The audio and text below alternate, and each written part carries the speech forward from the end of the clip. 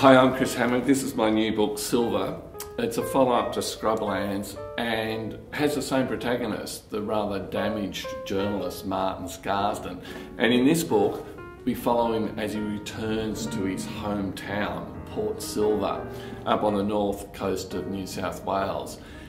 And we, as he uh, solves a series of crimes that beset his hometown, he also goes on an emotional journey, and we find out why Martin has ended up being such a, a damaged fellow.